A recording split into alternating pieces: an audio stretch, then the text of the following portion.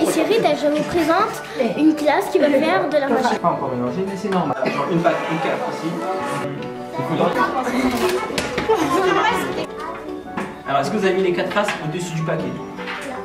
Maintenant, ce qu'on va faire, c'est qu'on va demander. Alors, on pose le paquet, d'accord? Et puis, on demande à quelqu'un, c'est là où tout est magique, c'est que la personne ne sait pas si on a touché le paquet ou pas, d'accord?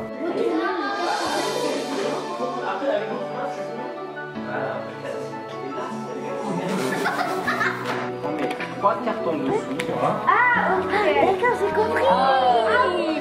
Bonjour, donc je vais vous faire un tour de magie incroyable. Ça s'appelle le paquet intouchable.